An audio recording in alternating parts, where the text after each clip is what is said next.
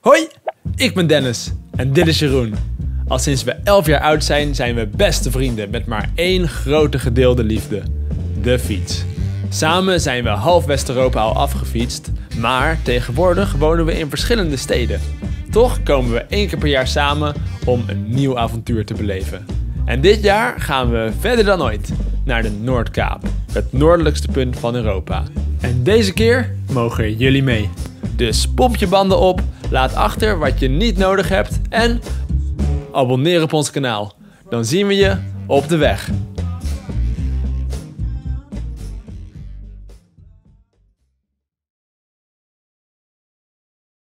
Nou, daar gaan we. Nou, daar gaat hij hoor.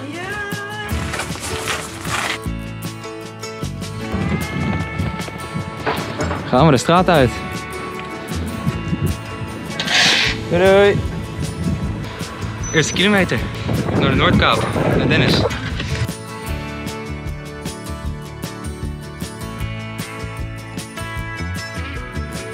Nou, daar zijn we dan. Eens kijken of eh, Dennis thuis is.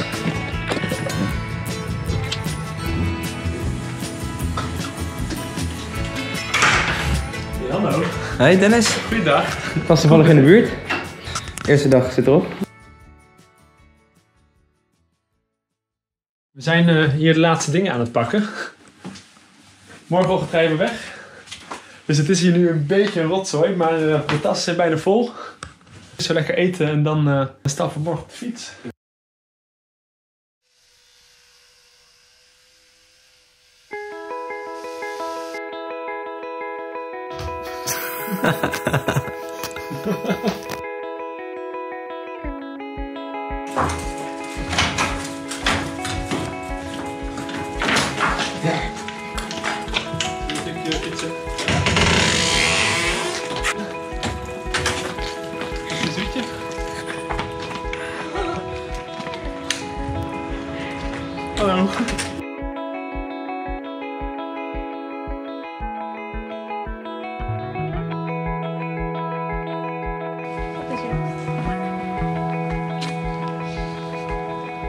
Doei doei.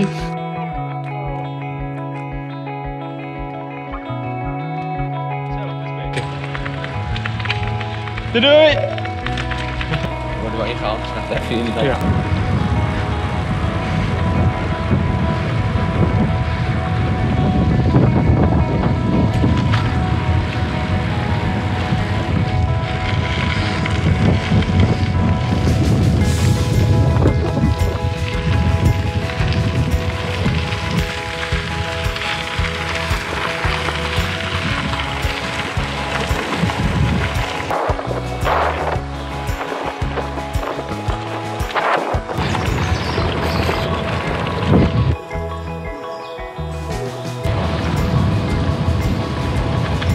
Rijden hier in het Nederlandse landschap, onderweg naar de IJssel. Dus we genieten nog even van de grote weilanden voordat we morgen Duitsland inrijden. En Nederland echt ophoudt voor de komende maand. Hopelijk laatste keer tegenwind. Waarschijnlijk eh eerste keer tegenwind.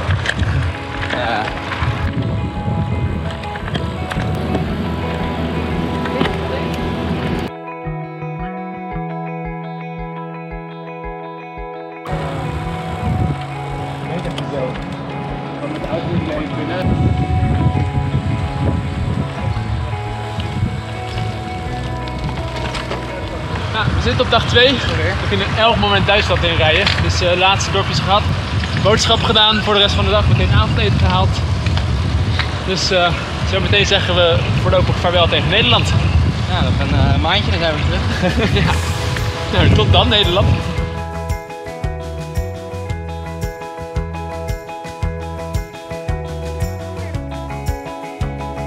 De gouden tip voor iedereen die ooit op fietsreis is. Bankjes bij de kerk.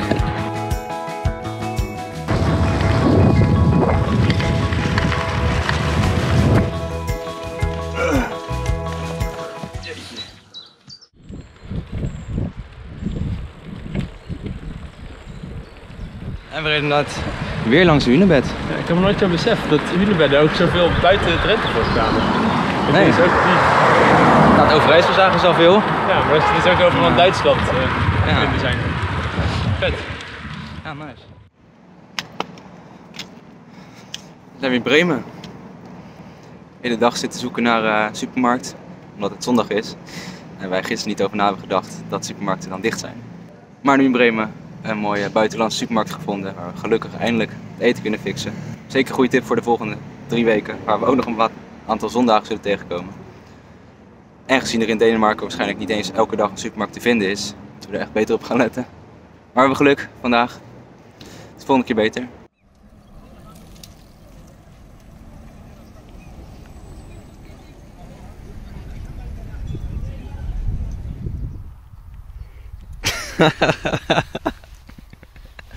Wanneer het drie seconden hard regent. Oh, je kleding hebt uitgedaan. Is er nou weer stil. Nou, we zitten onderhand op dag 3. In principe gaat alles prima. Weinig pijntjes, uh, alles gaat lekker. Alleen het probleem is dat we, Jeroen en ik, allebei ontzettend last hebben van jeuk. Echt overal. Um, en dat heeft verschillende oorzaken. Op dag 1 hebben we per ongeluk geluncht uh, naast een boom vol met eigen processierupsen. Uh, dat was niet zo handig. Maar die blijken dus ook overal door Duitsland voor te komen. Dus volgens mij hebben we best veel langs eikenbomen gereden die echt ja, gewoon vol met die rupsen zitten. Daarnaast zijn er nogal wat muggen. En heb ik een keer per ongeluk uh, in een greppel vol brandnetels gelegen. In een greppel vol brandnetels gelegen. Zo, een mooie rechte lijn aan bosjes. En dan hier wees niet meer. nou Dennis, wat is er gebeurd? Wil je liever niet over praten? Het hoeft niet hoor. Dat was niet zo handig. Maar ja, dat um, gaat allemaal oké. Maar gevolgens wel dat we echt jeukende armen en benen hebben waar je langzaam een beetje gek van wordt. Maar we hopen dat het langzaam minder wordt. En dat we er in Zweden, ook al zijn er een hoop muggen, uh, wat minder last van gaan hebben. Maar ja, we gaan het zien. Ja.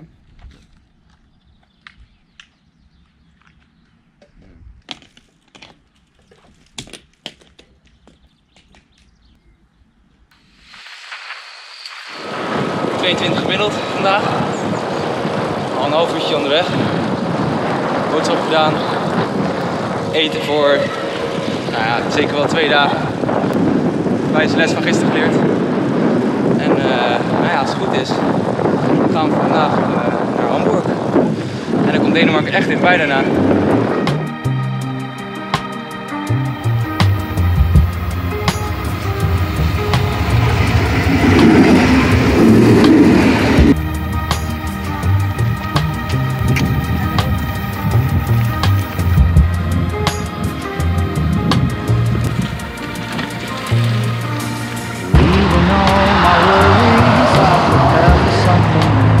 Nou, we hebben even een uh, klein probleempje. Uh, het blijkt dat mijn pedaal, een SPD-pedaal hier, daar zit nogal wat, uh, wat speling in. En er is ook een stuk van mijn pedaal afgekomen.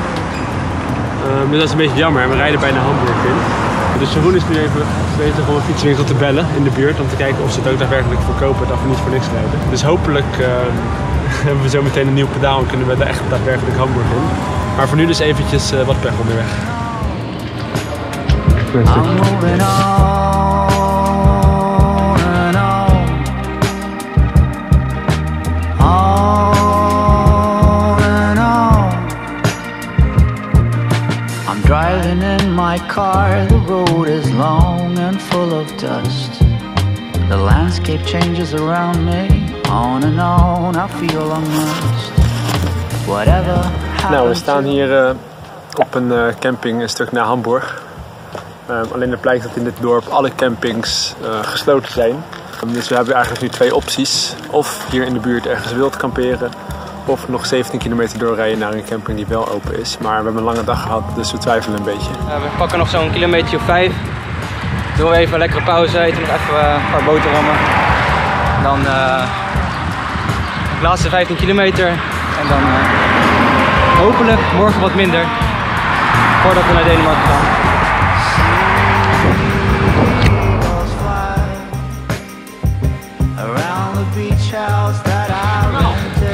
De laatste klim van de dag. Dennis Schreiber hier in de kopgroep. Vierde categorie.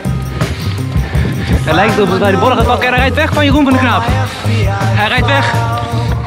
Met de cadans van weet ik veel wat hij aan het doen is. Maar hij wint. En ja, dit betekent toch echt de bolletrui voor Dennis Schreiber.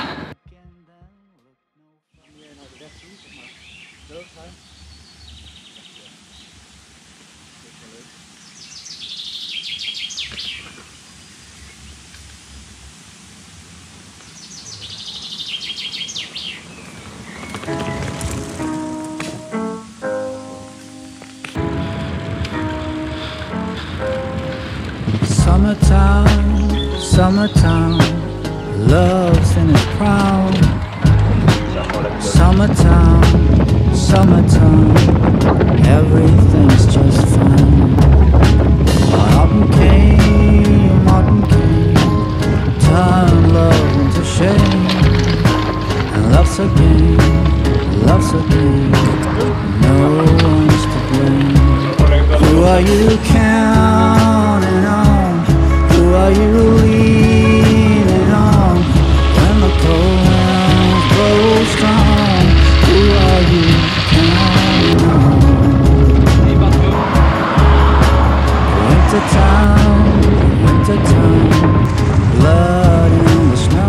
stukje Duitsland. We rijden hier weg eh, van uh. Dat is een dorp, maar dat dorp bleek een hele camping te zijn. Nu nog een kilometer of 17 naar de boot. En dan rijden we Denemarken in.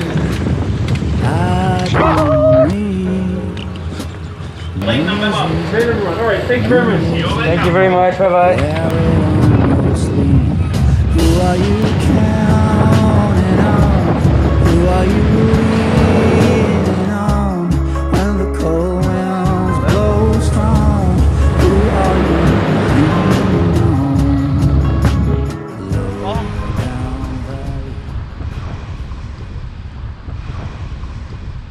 Aangekomen.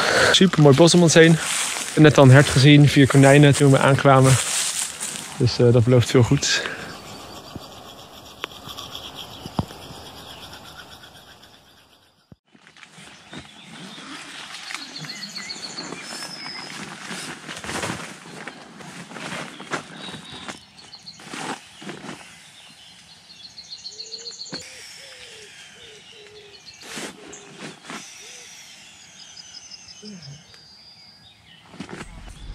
Vandaag lekker eh, een mooi plekje langs de rand van het bos gehad.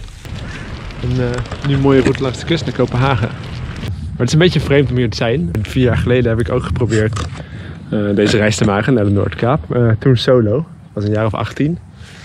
Eh, maar ik was onderweg aangereden. ehm, wel doorgereden. maar lang verhaal kort. Ik heb uiteindelijk opgegeven. En was rond deze plek. Dus we zijn net langs alle plekken geweest.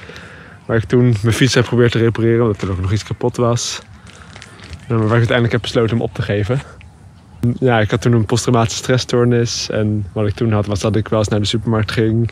En dat ik dan, als ik iemand zag die ik kende, gewoon daar, ja, als het ware een soort paniekaanval kreeg. En dan naar huis ging zonder überhaupt boodschappen te doen. Of dat ik bang was in het verkeer. En überhaupt bang voor, ja, gewoon heel weinig zelfvertrouwen. Daar heb ik toen heel veel hulp mee gehad. Ehm, en dat is allemaal weer goed gekomen. Maar de grootste overwinning is eigenlijk wel geweest dat ik, nou ja, door die hulp die ik heb gehad, ehm, gewoon weer zelf boodschappen kon doen. En gewoon weer met mensen zelf een gesprek aan durfde te gaan. Ehm, ehm, dus best, best raar of zo hier dan weer langs te rijden. En dan is deze reis niet per se alsof ik dat wel goed maak. Maar nu ik het vertrouwen weer heb dat ik dit soort dingen kan, is het gewoon heel leuk om dit te doen. En het is natuurlijk wel even vreemd om dan weer langs al die plekken te rijden. Maar fijn dat dat nu achter de rug ligt. En eh, we gaan lekker door naar Kopenhagen en dan morgen lekker Zweden in. Dus ik heb er zin in.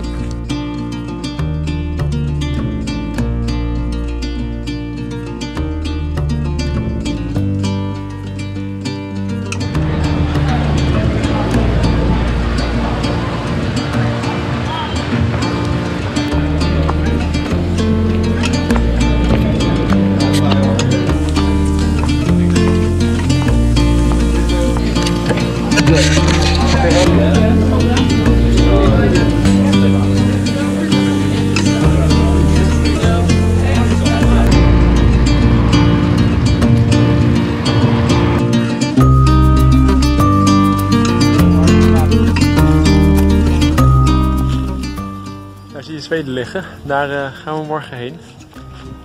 We staan nu in Helsingør in Denemarken, vlak bij de boot in Zweden. Ehm, dus nog één nachtje slapen en dan, eh, dan steken we over. En dan gaat de grote reis eh, door de bossen van Zweden beginnen.